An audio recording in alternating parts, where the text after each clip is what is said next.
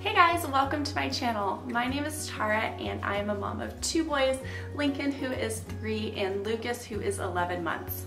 Today's video I am going to be taking you into my home and showing you the different Montessori spaces that we have created inside our home. Each of the spaces in my home have been created with a purpose. I have thought through how I can modify some certain spaces in my home to make them more accessible to my toddler or my infant, safer for them, and to help them be more independent and self-sufficient. One disclaimer I want to put out is that there are so many different ways to practice Montessori in your home, and I personally don't believe that there is one true right or wrong way when you're talking about an at-home Montessori environment. It is going to look different than a school Montessori environment. So this is how our house looks. I'm going to show you what works for us, and I hope this gives you some inspiration for your Montessori at-home environment. All right, let's get into the video. If you're interested in seeing our home and our Montessori spaces, then keep watching.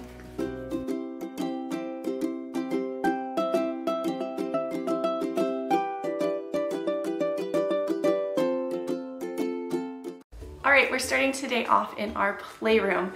So I'm not going to give you a full tour of our playroom today because I am in the middle of doing a like playroom makeover and I plan to have a full tour of the playroom um, on an upcoming video. So if you aren't subscribed, make sure to subscribe down below so you don't miss that video. All right, I've moved over to our cube shelves. I wanna give you just a little overview of how we set up our shelves so that they're more Montessori friendly and more accessible to my three-year-old and 11-month-old.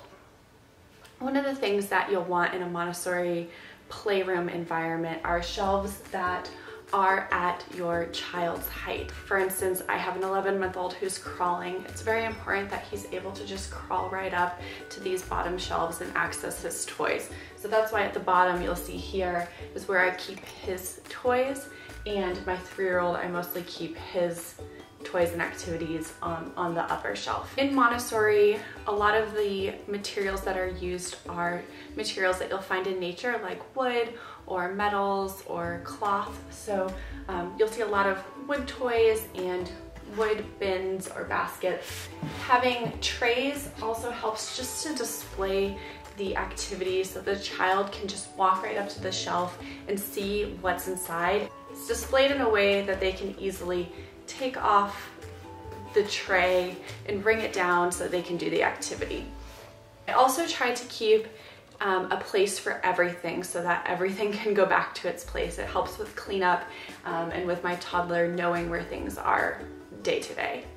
Another thing as you can see here is I have if I do have bins, so for instance, this bin we have storing our bristle blocks. So I try to find bins that don't fill up the entire cube so that even if there, I do need like a larger bin to hold blocks, it's a bin that when they walk up, they can see right into it.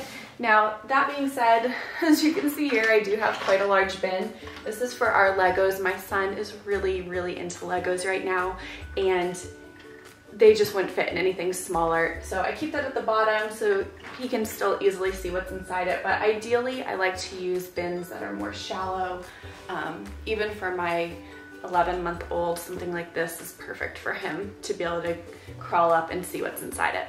So when it comes to toys in our playroom, um, in the beginning when I was first learning about Montessori, I thought that it meant everything had to be wooden. And I went out and bought like you know, wooden cars and that sort of thing. But I've learned over time that really the more realistic um, the item is, the more Montessori aligned it is. So for instance, instead of buying, you know, a wooden fire truck that really looks nothing like a fire truck. Maybe buy the plastic fire truck or try to find a metal one, um, but one that is more realistic looking is going to be more Montessori, Montessori aligned. And the same thing goes for puzzles or books um, or really anything. And actually, when I was first reading books to my first son when he was a baby, and sometimes I'd have books that had real pictures of animals and sometimes I'd have books that had cartoon pictures. I remember thinking like, am I confusing him? Does he, is he gonna know which one is the real animal? So it actually just makes sense to me. Now I've pretty much gotten rid of most of the books that have cartoon animals in them. Obviously not all of them, but when it comes to like actually teaching um, the animals to my 11 month old, I try not to confuse him with a bunch of different cartoon animals and try to stick to the books that have the real pictures of the animals. Right, moving over here to the bookshelf, we have placed, I think these are just the Ikea, maybe spiced racks, um, but we are using these as a bookshelf. I think they make a great Montessori um, front-facing bookshelf. It's really great for the books to be displayed this way because it's easy for children to come up and see which books are accessible. So on our bookshelf, you will see a lot of books that have real images, real images of children, um, animals. I try not to clutter the bookshelf with too many books. However, both of my boys really love reading, so I do keep maybe a little bit more than the average Montessori parent would, um, but that's just what works for our family. So these are the books that we have out this week. All right, that's it for the playroom. Let's move into the bathroom. We're starting off in the half bath downstairs because this is where we spend most of our time. Um, so I'll give you a little bit of a tour of what we've done to our half bath to help make it more Montessori friendly, and then I'll show you the boys' bathroom upstairs. One of the things that we have done is set up a little toilet station for my three-year-old and that is just a little potty that is his size um, along with a basket of his items. So in here I have his underwear, um, some toilet paper, and some books for him to read. Um, those are potty books. So yeah, this is his little area where he can actually go to the bathroom by himself because this toilet is, you know, a child size, he is able to pull off his pants and his underwear and go to the bathroom all by himself, which I think is great. Over here, I do have one of the potty seats on the hook. Um, we've been working on that a little bit, but it is something that he needs assistance with. So sometimes um, this potty is just a little bit easier since he can do it by himself, but we are working on transitioning to the bigger potty. The next thing I have is at our sink, we have a step stool so that he's able to access the sink by himself. And on the faucet, I've added this little water extender piece. You can get these on Amazon and it just allows the water to come out a little bit closer for little hands that maybe can't reach all the way. And on the wall, I have added a command hook for him so that he is able to have a towel that he can reach and he's not, you know, trying to reach our towel. And actually to be completely transparent, the one that we had up here fell off. Um, I think with him always trying to grab at it and pull it, it just caused it to come off. So this is the solution that we have where he can access it at his height and now we're having to use it as well until we get a new one replaced. But yeah, that is our half bath downstairs and how we've created um, a space just for my toddler so that he can access, you know, everything that he needs all on his own. Our upstairs bathroom isn't all that much different than the downstairs bathroom. Um, I have the same sink water extender as we have downstairs and the same step stool. The only difference in here is that we have a drawer with all of Lincoln's like toothbrush and personal care things. So in here he has his toothpaste, his toothbrush, his hairbrush, and some floss right there. So these are all pretty accessible to him um, when he's up on his stool. He just reaches over, opens the drawer and gets them out. And he um, is at the height now where he can help himself here at the sink. So turning on the water and everything. Guys, the next space is my kitchen. So there's quite a few areas in my kitchen that I have recently changed around so that um, they are more accessible for my toddler and just really more Montessori aligned overall. So let me show you what those are. One of the things that we have in our kitchen is a learning tower. This is great so that my son can easily get to counter height to help make snacks or cook dinner um, without being on a stool that might be a little bit, you know, shaky um, or not as safe. So this is, a learning tower is great for um, toddlers who want to help out. It gives them that safety and security that they need, um, but allows them to help you out, which I love. At our kitchen table, we have the Stoke, Stoke, Stoka, I'm not really sure how you say that, but we have the Tripp Trapp high chair. Um, and I love this high chair because it allows um, children the ease of getting in and out of their high chair easily by themselves. Um, as you can see, we have it set up as a toddler chair and as a traditional high chair. So I love that it can be both. For my 11 month old, we still have him in the traditional high chair setup. Um, often we do take the tray off and push him up to the table so he can be, you know, at the table with us. Um, but we do keep the straps on for now. We don't have it set up so that he can get in and out by himself. But I love that when they are ready for that, um, this converts to um, kind of more like a booster height high chair and it also can convert all the way down to just a normal chair. So the Tripp Trapp has been great for my older son to have independence and not have to struggle with those booster seats and that sort of thing. So it's like his own chair, he knows that's his. Next area in our house we have is a weaning table. So this is sort of like Lincoln's little area in our kitchen.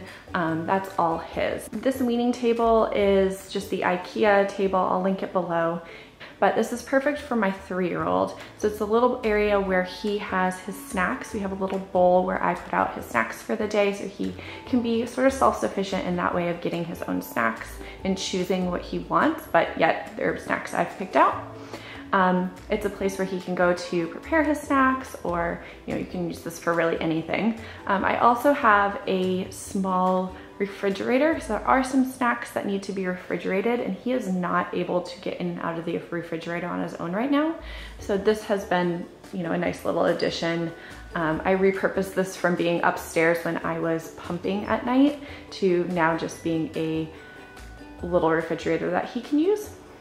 We also have his broom and dustpan and mop and vacuum over here. It's great to have these available so that he can um, have some responsibility of cleaning up after himself. So if he spills something, um, you know, that's dry, he can use his broom or the little dustpan to scoop it up. Um, I do usually try to keep out a washcloth or a sponge for him if he's, you know, eating something that could spill or doing something messy. Okay, I'm getting down to toddler height for this one, but the other thing that I've done in the kitchen is create a space for Lincoln's plates and bowls and cups that he can access. So previously, if you see that cabinet way up there, that's where I had all of his plates and cups and bowls. And once we started learning more about the Montessori method, I moved most of his items to this drawer down here. So inside this drawer, we have just his plates, his bowls, and his cups, and this is where he knows that these things are and he can come and get them whenever he wants to get himself a snack or if he's helping with making dinner or something, he knows to come here. I also put his silverware in the drawer above it, so this is accessible to him as well, so a spoon, fork, and knives. And then um, I have bibs in here and placemats. Now Lincoln still asks for bibs for messy things um, and he does put out his own placemats a lot so he can also access this drawer. So those are the three drawers that I have made specifically for him and his items. One other area that we have in our kitchen that I almost forgot to include is this cabinet right here. So this cabinet has a lot of the items that my son uses for, you know, really mostly food prep. Um, and he knows where these are and he will come and get them when needed. So a citrus juicer, um, a cherry pitter, his apple slicer. Um, sometimes we like to make smoothie popsicles, so we've got that here. And that's pretty much it. But yeah, those items are right here and easy for him to grab at his level. All right, the last room is my son Lincoln's bedroom. So this is a toddler bedroom. If you are familiar with Montessori, you may have seen other Montessori toddler rooms with floor beds and dressing stations. However, ours is set up more like a traditional toddler bedroom. Um, we didn't learn about Montessori and start practicing it in our home until my son was two. So we had already purchased all of this furniture and I've decided that since he's three, there's no point in purchasing additional furniture and we've made the traditional furniture work for him. Oh, I'm gonna take you around the room now and show you what we've done to make this room more accessible to him and just more, you know, Montessori aligned. One thing that we have in here that may seem a little bit unconventional is a toddler potty. This is just so that it's easy for him to go to the bathroom in the night if he needs to. So for now, we're keeping it in here. His bed is a traditional crib um, turned into a toddler bed. So we have the toddler rails on it and he can easily get in and out of this by himself now since he's older. So we've kept it exactly how it would be as a traditional toddler bed. Over here we have Lincoln's bookshelf. This is another forward-facing bookshelf so that Lincoln can easily access all of his books and see what's on the shelf and he really is into books so we have another bin down here of some additional books in case these aren't enough. he does have a little racetrack in here and then we have this shelf which we've had for a while um, and what we've done is just we've put anything that he would need to access make sure that it's low enough for him so some stuffed animals this is a little toy box and he's got a Thomas train Over in this corner is his laundry hamper where he can easily access to put his dirty clothes. Over here we have the traditional nursery dresser. So this still has the changing table on top. Just haven't taken it down yet. We don't use it anymore. Um, his sound machine and some lotion up there. But what I've done is I have made the bottom drawers to be accessible for him here.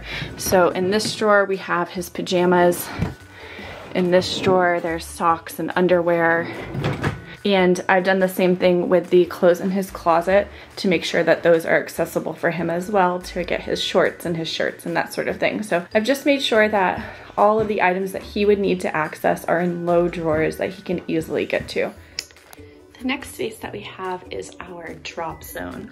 So this area is a place where we have our coats and jackets hung up and instead of having Lincoln stuff way up high up here with our up here with our stuff, I have created a spot that is just at his height. So this is actually one of my favorite quotes by Maria Montessori. Never help a child with a task at which he feels he can succeed. And I put that here because I think that this is an area where we're always trying to get in and out of the house very quickly and we forget that children can do so much for themselves. So I have put two hooks here for his hat and his jacket and then there is a little stool here for him to sit down and have some space to put his shoes on. And then he has his own cubby over here. And what I've made sure to do is only keep out just a few shoes at a time. So only the shoes that he may need. For small children, this may need to be just the shoes that they would need for that day. So, um, you know, you might have to take the rain boots away if you don't want them wearing rain boots every day. But for my three-year-old, he understands the difference between needing rain boots and regular shoes. And we're at a transition right now where we're going from sneakers um, and sandals because it's starting to cool off a little bit.